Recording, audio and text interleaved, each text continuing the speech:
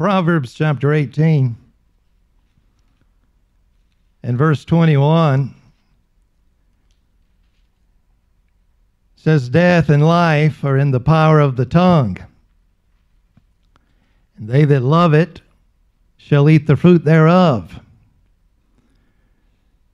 They that uh, recognize it, understand it, respect it, acknowledge it, walk in the light of it, shall eat the fruit thereof. Death and life are in the power of the tongue. Throughout the book of Proverbs, there are many scriptures. There is much on the power of the tongue and the power of words. In fact, in this same chapter, verse 7, a fool's mouth is his destruction, his lips are the snare of his soul. And there are many scriptures throughout the book of Proverbs and elsewhere that talk about the tongue and words. James had quite a bit to say about the power of words. James said in chapter 3, verse 2 In many things we offend all, if any man offend not in word. The same is a perfect or mature man, and able also to bridle the whole body. Behold, we put bits in the horses' mouths, that they may obey us, and we turn about their whole body. Behold also the ships, which though they be so great, and are driven of fierce winds, yet are they turned about with a very small helm, whithersoever the governor listeth. Even so the tongue is a little member, and boasteth great things. Behold how great a matter a little fire kindleth. And the tongue is a fire a world of iniquity. So is the tongue among our members, that it defileth the whole body, and setteth on fire the course of nature, and is set on fire of hell. For every kind of beast, and of birds, and of serpents, and of things in the sea is tamed, and hath been tamed of mankind. But the tongue can no man tame. It is an unruly evil full of deadly poison. Therewith bless we God, even the Father, and therewith curse we men, which are made after the similitude of God. Out of the same mouth proceedeth blessing and cursing. My brethren, these things ought, ought not so to be. Doth the fountain send forth at the same place sweet water and bitter? Can the fig tree, my brethren, bear olive berries? Either vine figs? either a vine figs, so can no fountain both yield salt water and fresh. Who is a wise man and endued with knowledge among you? Let him show out of a good conversation. And that means lifestyle, but it is also your conversation of words, but it's also lifestyle.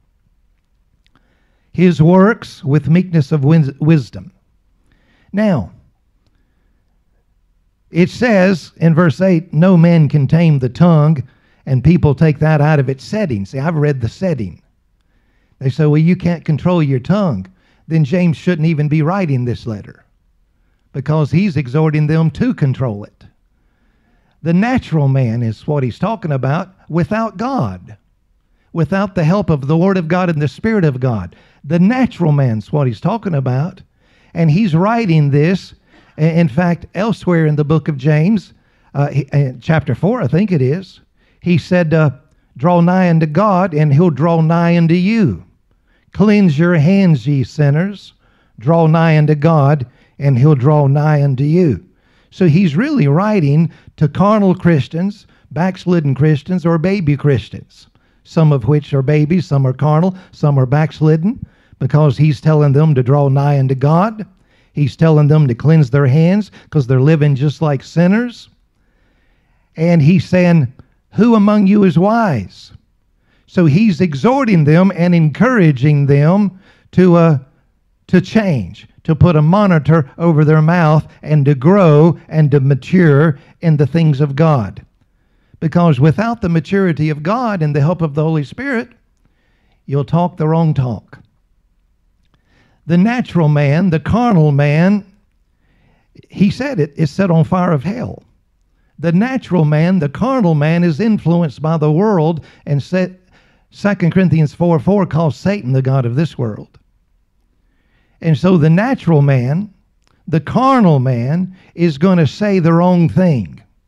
It's by the Word of God and the Spirit of God that you're able to put a watch over your mouth and to control your tongue because you desire to. And you desire to grow in God. Death and life are in the power of the tongue. Did you put up the verse, Cleanse your hands, ye sinners? So he's telling them to get right with God, isn't he? Where is that? It is in chapter 4. 4 8. Right before that is submit yourselves therefore to God and resist the devil. He'll flee from you. Aren't you glad the devil flees when you resist him? Submit to God, resist the devil. What does he do? Somebody said one time, I resisted the devil and he didn't flee. Well, I guess this verse isn't true then. I guess we need to believe you instead of God.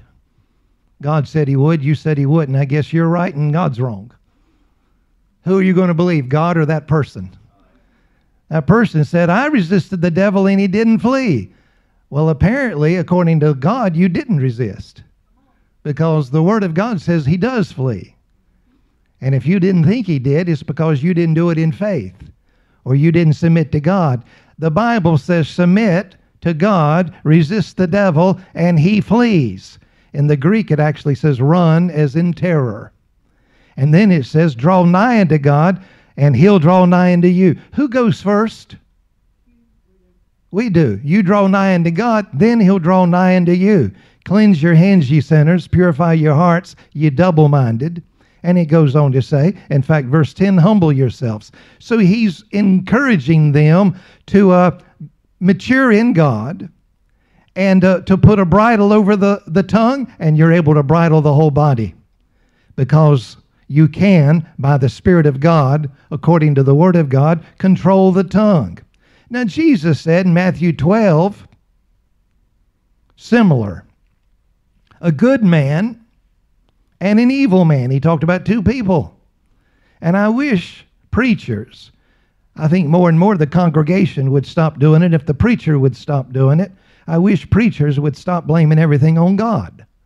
God's in control. God did this. God did that. God allowed this. God allowed that. God's in control. I wish the preacher would stop preaching that and the congregation would kind of catch on because they're blaming everything on God. Something happened. God had a reason. God had a purpose. But Jesus, again and again, put the emphasis on the man. He talked about the sower sows the word, and now the ground, the man, the person, the hearer, has something to do. And in Matthew 12, he talked about two people. And he, when he says an evil man, he's not talking about someone who committed horrific acts of, of evil that day. He's just talking about a person that's that's influenced by the world, a worldly person. Just your, your, as we might say, your average person on the street. Just your, and that includes a lot of Christians that are carnal, that don't really know the Word of God. They don't know the Spirit of God. They've been saved, all right, and they know that, but they don't really know much about the Word and how to act upon the Word. And so, the one who's influenced by the world, uh, and Christians can be carnal. Is that right or not? Paul wrote to the Corinthians, 1 Corinthians 3, just out and out called them just blatantly and, and just without mincing words, you're carnal. He just said it. I'm just going to say it and I'm not going to hold back. You're carnal. That's what he said. And he's talking to Christians. Well, Jesus would be including these people then. He said in verse 35, Matthew 12 35, a good man. And then later in the chapter, uh, uh in the verse, he said an evil man. Verse 35, he talked about two people a good man and an evil man. Well, the good man brings forth good things. How does he do it? Out of his heart. The evil man, or the carnal man, or the worldly person, he brings forth the evil treasure. How does he do it? Out of his heart. Well, how did he get it into his heart to bring it out of his heart? Well, Jesus said in verse 34, verse 34, O generation of vipers, how can you being evil speak good things? For out of the abundance of the heart, the mouth speaketh. So the mouth is speaking. Well, how did it get into the heart? One way you get it into the heart is by speaking. One way it gets into the heart is by hearing. One way it gets into the heart is by seeing. What you see, what you hear, and what you say will get into your heart. What you hear, what you see, and what you say will get into your heart unless you filter it and monitor it. Not everything I hear gets into my heart because I don't accept it. Not everything I see gets into my heart because I don't accept it. Not everything. And then sometimes you can say things and catch it. No, no, I shouldn't have said that. Father, forgive me. Amen. Is that right? Proverbs chapter 4 verse 23 and Jesus could have taken Proverbs 4:23 as his text. While he's teaching this in Matthew 12, he could have used Proverbs 4:23 as his text. Keep, and that means guard and protect your heart. And he said be diligent about it. Don't be casual. Don't be flippant. Don't just think, well, it doesn't much matter. It's not important. No, it says with all diligence. Keep, guard, protect your heart with all diligence. Now, why? Because out of it are the issues of life. Now, he could have taken that as his text. He could have read that, and then he goes on to preaching and teaching. Proverbs 4.23 is my text. Keep your heart with all diligence, because out of it are the issues of life. And now, let me talk to you about a good man and an evil man. And if you're uh, motivated and influenced by the devil and not your heavenly Father and not by the Word of God and the Spirit of God, then you're just a generation of vipers. And even though somebody might tell you your words are powerful, you won't say what you want to say. You won't say what you ought to say because what's in your heart will come out of your mouth whether you like it or not. I mean, under pressure. You may be taught to speak good words, but under pressure, that's really where the rubber meets the road. We're going to really see what you're made of when you're under pressure. I mean, you can tell how somebody walks in love by how they treat somebody who's mistreated them. Because anybody, I mean, Jesus said, Why do you give uh, to somebody who's given to you? Sinners do that. What thank have you? What reward have you? Sinners do that. He's, he's asking us to be a step above, maybe a few steps above.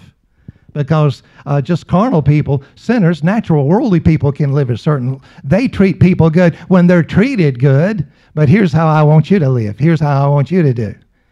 Amen. So, under pressure, you can tell what people are, what they're about uh, when they're under pressure. And so you won't be able to talk right. Right. How can you, being evil, speak good things?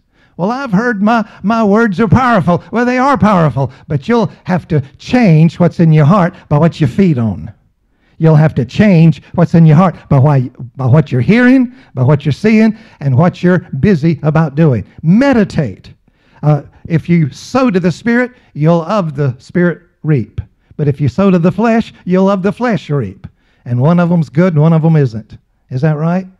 Well, right now we're sowing to the Spirit. That's what we're doing. And we'll of the Spirit reap life. Amen. But if you sow to the flesh, you reap destruction. Is that right? So he said, How can you? How can you? I just think what he's saying, it's absolutely impossible. Somebody may tell you, you better watch your mouth. But if you're carnal, if you're worldly, you won't be able to. And that's why, why James said, uh, you need to uh, grow in, in the things of God because you'll be able to bridle your whole body if you can keep your tongue.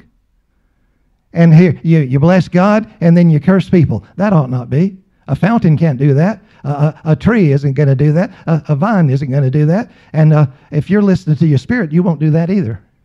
If you grow in God, you won't do that either. Can somebody say amen? Death and life are in the power of the tongue. Keep your heart with all diligence, for out of it are the issues of life. The good man brings forth the good things, the evil man brings forth the evil things.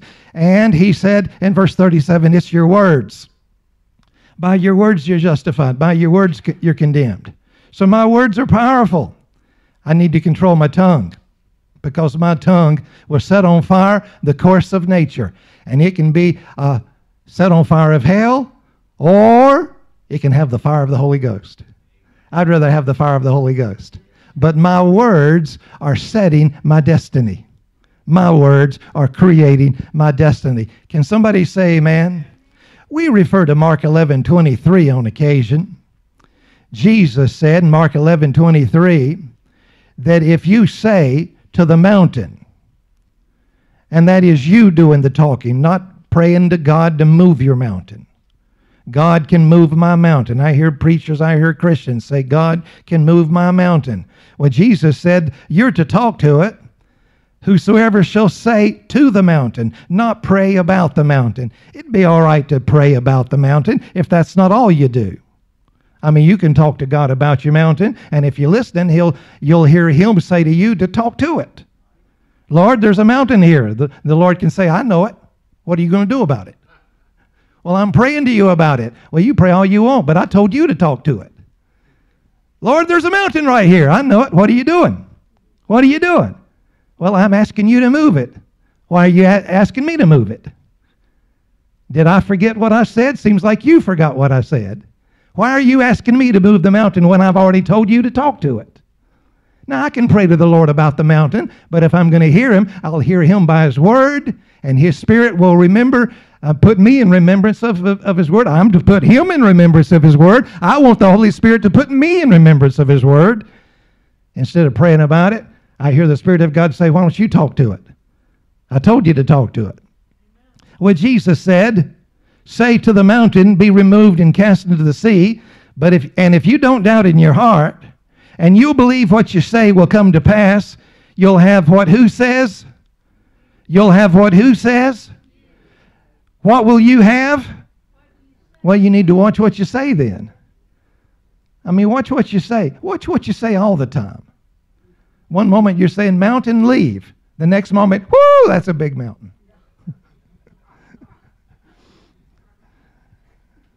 Because Jesus said, if you believe and not doubt, he said you'll have the things that you say. I want you to notice in verse 23, things is plural. You need to believe everything you say. If your words are going to be powerful against that mountain, you need to put such a monitor over your words that you don't say anything you don't believe. Because you need to believe everything you say. If your words are going to be powerful, you need to believe everything you say. Because how can a fountain bring forth salt water and fresh at the same time? I believe that mountain's going to leave. And I believe that person that just cut me off on the freeways. Well, I shouldn't have said that. well, I believe this is getting worse, but that mountain's going to leave, but this is getting worse. You need to believe everything you say. Because if you're saying things you don't believe, that mountain figures out that you don't believe that either. Your words are confusing to your heart when you're saying things you don't believe. How does your heart figure out which one you believe and which one you don't believe when you're saying all these things? You're saying things you don't believe. Well, I don't believe that. I don't believe that. Why'd you say it? Well, I said it, but I don't believe it. Well, you also said you believe the belt is going to uh, move. Uh, do you believe that? Well, yeah, I believe that, but I don't believe the other. Your heart's confused. James said that you just see uh, uh the, the heart. That man is self deceived or self deluded. He deceives his own heart. James talked about someone who deceives his own heart. Amen. So believe the things. Everybody say things is plural. Well, death and life are in the power of the tongue. I was recently in a place and I was listening to some people talk. Now, they weren't church people. Now, they may have been saved. I didn't ask them. They may be a member of a church. I didn't ask them. But uh, we were, you know, we, I was just out in a place where I was listening to some, some people talk, just out in the world, just out and about and out in the world. One person walked in, the other person recognized them, and they began to talk. And the first thing that they talked about you know, how are you? How have you been? And they started to talk about their hospital procedures and this procedure and the family, what the wife's going through and what I've been going through and what you're going through. And they talked, I guess, for 30, well, 15, I wasn't there 30 minutes, but 20, 15, 20 minutes. And the whole conversation was about how they feel, what's happening to them and their family, their body, what the doctor says. And I'm listening to them dig their own grave with their words. Out in the world, they don't know the words have power. They're digging their own grave. The doctor says this is the worst case he's ever seen. The doctor says, well, they gave that. Did it work? Well, it worked for a while. I had this surgery. Well, did it work? Well, it worked for a while. I had that procedure. My wife's had uh, seven operations, and she's got one scheduled uh, in the next week or two. And we're hoping that's going to work out all right, but she's already had six. And uh, that worked for a while. Then it didn't work. Went back to the doctor. Well, we were hoping that was going to work. Well, it's the worst case he's ever seen. And they don't know. They're digging their own grave with their words because they're saying what they have, what they have, what they have. Here's what I have. Here's what runs in my family. Here's what my wife has. The doctor says it's going to get worse. They're going to try to do this. They're hoping it'll get better, but they tried and it wasn't. It didn't. And that somebody else and that they're talking. I'm listening to them 15, 20 minutes thinking this is how the world talks and it's so sad. They're setting their own destiny they're setting their own destiny. They're setting their own destiny with their words. And they don't even know it. The devil knows it. The devil knows it. And he's manipulated and influenced the world to talk their own destiny. Because death and life, not in the power of the devil, the power of the tongue. Death and life isn't in the power of the devil. And if you'll read it in the context, it's not in the power of God. It's in the power of the tongue. That's why God tells us to put a watch over our mouth, to set our words aright, to set our tongue aright. That's why Jesus said, You're justified by your words. You're condemned by your words. That's why Jesus said, I want you to say and believe what you say will come to pass. You'll have what you say. Oh, John 15, 7 said, If ye abide in me, and my words abide in you, You'll ask what you will and it'll be done. Put my word, put my word, put my word in your heart and in your mouth and see the things of God begin to happen in your life. Put the word of God in your heart. Put the word of God in your mouth. Put the word of God in your spirit in abundance. How do you do that? Speak it to yourself, little by little little by little. Make deposits. Make deposits. Speak the word of God into your heart, into your life, into your own spirit, and then speak it out. The tongue is a pen of a ready writer, writing upon the tables of our hearts. I can speak the word of God. And as I do, I'm listening. Faith comes by hearing, and hearing by the word of God. And I overcome Jesus said, In the world you'll have tribulation, but be of good cheer. I've overcome the world. And the victory that overcomes the world is my faith, and my faith comes by hearing, and hearing by the Word of God. And Jesus has brought me victory. So I, the Word of God, I put it into my heart. I let it come from my heart out of my mouth, and His Word, mixed with my Word, causes the destiny of God's provision to be experienced in my life. Blessed be the name of the Lord forever. Oh, but people are creating their destiny with their own words. I wish they knew. I wish they knew. The reason that this happens is because they believed it sometimes years ago. They believed it and they said it, and it set on fire the course of nature. They didn't know it. They weren't, uh, they weren't aware what they were saying 10 years ago was going to create their destiny. They didn't know it. They didn't know what they were brought up in that house believing that they should be saying, well, this is what grandpa had, and this is what your father had, and that's what's going to, it runs in the family. This is what the great, great, great, great grandfather had, and this is what the great, great grandfather had, and this is what the great, uh, and, the, and this is why it just runs in your family, and you're, you're just going to have it too. That's just the way it is. That's just, and they, they're, they're taught to speak these things and then they talk it and set on fire the course of nature. People don't know what they've been saying for years. It's why they're experiencing what they're experiencing today. If you'll say and doubt not in your heart and believe what you say will come to pass, you'll have what you say. Well, I, I need to change what I say. Years ago, when I began to get a hold of the power of God's Word in my heart and how His Word is producing results in me when I believe it and when I speak it, I began to change things that I was saying.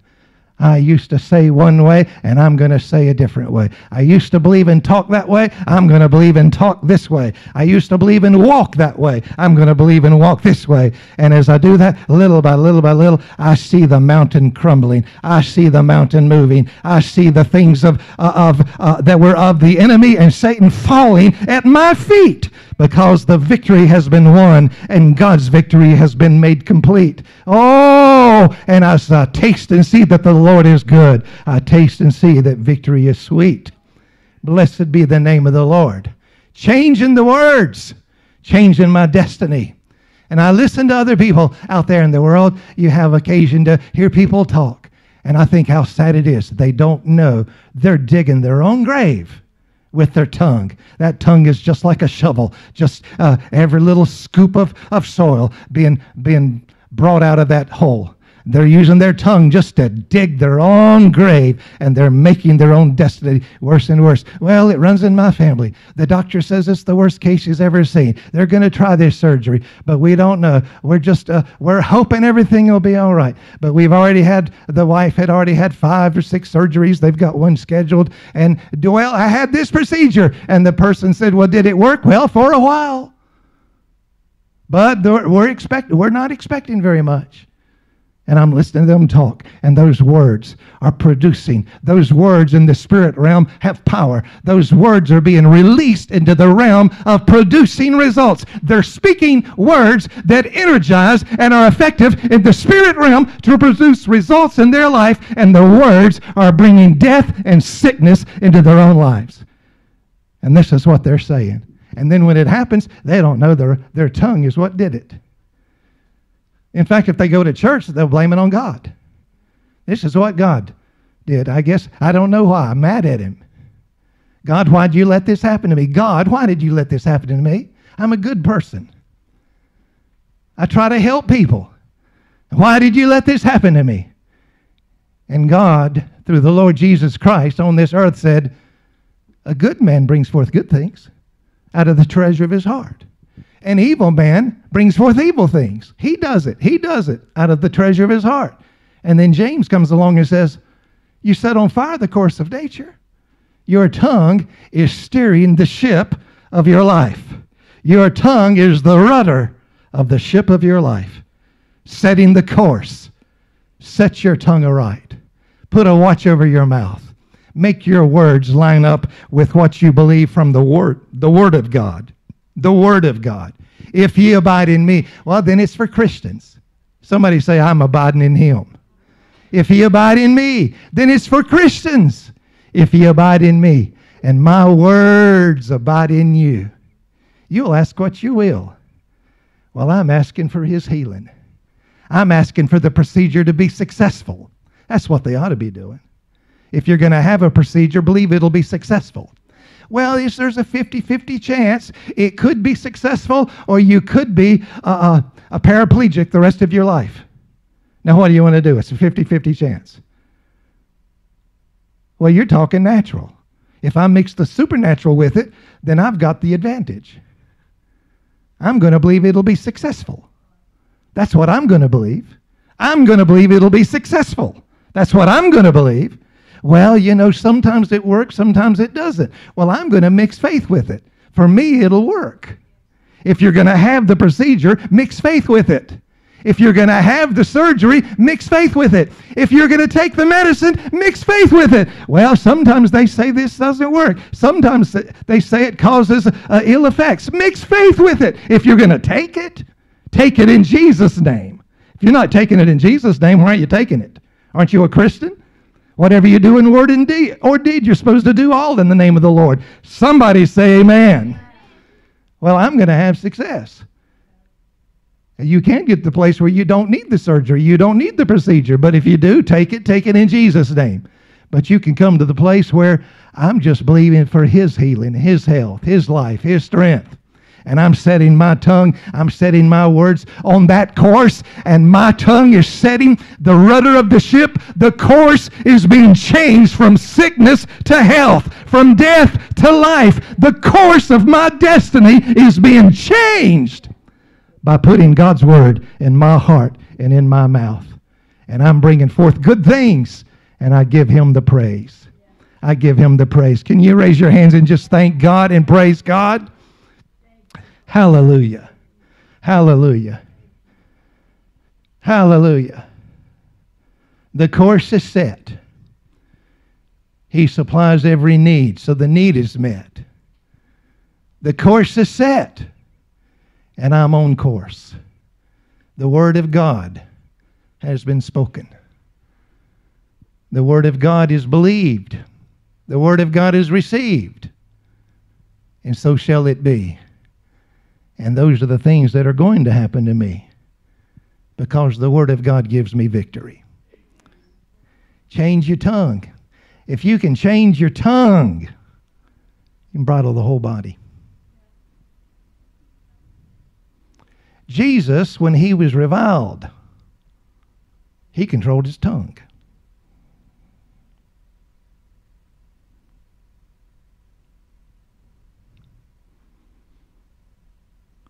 You bless the Father, but you curse men. I wonder if there's any accident that James brought that in. People come to church, hallelujah, praise the Lord, I'm healed. But somebody cut them off on the freeway.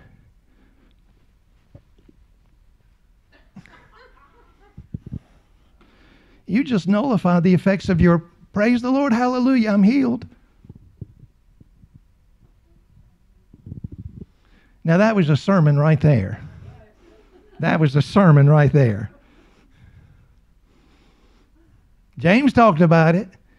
Jesus controlled his tongue. One good place you can tell he controlled his tongue is when they were mistreating him and he didn't speak. Death and destruction to them. He didn't destine them to hell because they mistreated him. In fact, when they put him on the cross, he said, Father, forgive them. Did he say that or not? And if you control your tongue, you'll control your whole body. Amen.